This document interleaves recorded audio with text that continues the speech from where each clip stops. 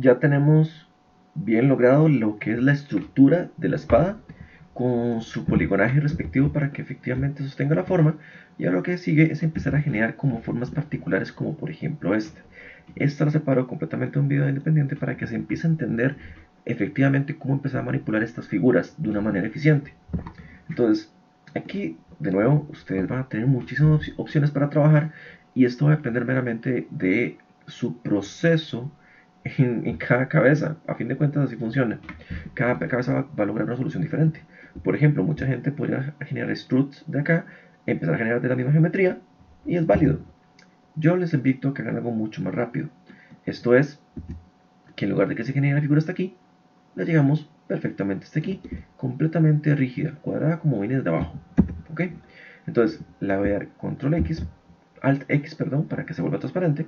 Y en este punto en donde yo sé que se empieza a, romper de una manera, voy a darle clic derecho, Quick Slice, y voy a hacer no uno, sino dos cortes. ¿Por qué dos cortes? Porque si hago uno, esto me lo va a redondear. Recuerden que entre más cortes, más Sharpie me lo va a hacer. Entonces, ya puedo, ya ah, habiendo logrado esto, yo me voy, selecciono las puntas y con la herramienta de escalado los uno. Ahora, muy importante, tengo que irme a la cara derecha, a la izquierda, perdón, y hacer lo mismo con los puntos de frente y de atrás. Entonces yo este filo básicamente lo estoy generando a mano.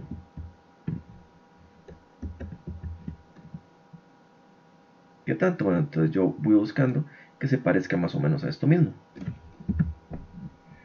¿Para qué? Para que eso sea bastante uniforme. Voy a darle con Alt X para ir viendo cómo se va cómo va luciendo esa estructura. Y ya efectivamente logramos que se viera como una forma de una espada. Ahora aquí hay un, par de cosas. Aquí es donde empezamos a probarlo.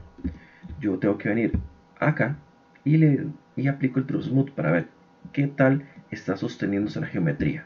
Y si hace falta más poligonaje y como ven realmente está funcionando bastante bien si quisiéramos un poquito más de, rigidez en esta área, entonces faltaría más poligonaje. Entonces, venimos para acá, me voy para front, y en lugar de que sea una sola, perdón, que sean dos líneas, voy a buscar otro quick slice y le hago aquí otro corte.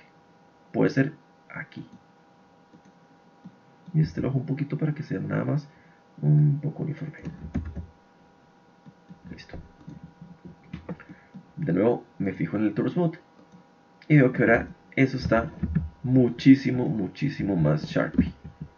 De nuevo, esto va a ser siempre que ustedes lo quieran. Otra cosa es que también aquí podemos definirle, si también fuese el caso, que esto tuviese una forma más de diamante en la parte superior. Entonces se va a ver como una espada un poco más medieval.